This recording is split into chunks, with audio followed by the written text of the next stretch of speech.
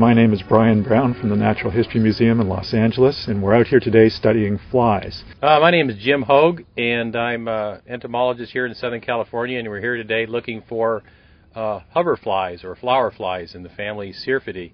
Uh, one of the places they like to visit are flowers and around wet habitats, like the place that we're here this morning.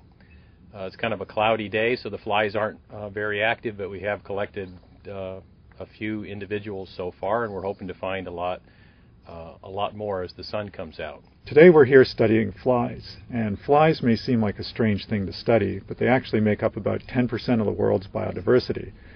That means one in 10 living things is actually a fly. So out here today we're looking for hoverflies. That's a family of flies. In scientific terms, it's called the Syrphidae. And hoverflies are interesting because they're pollinators, because they do other interesting things as larvae. They eat aphids, they live in rotting vegetation, they live in water.